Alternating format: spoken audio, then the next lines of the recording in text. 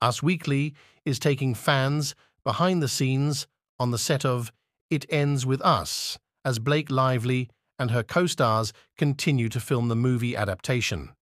In January 2023, Colleen Hoover announced that her 2016 best selling novel, It Ends With Us, is coming to the big screen.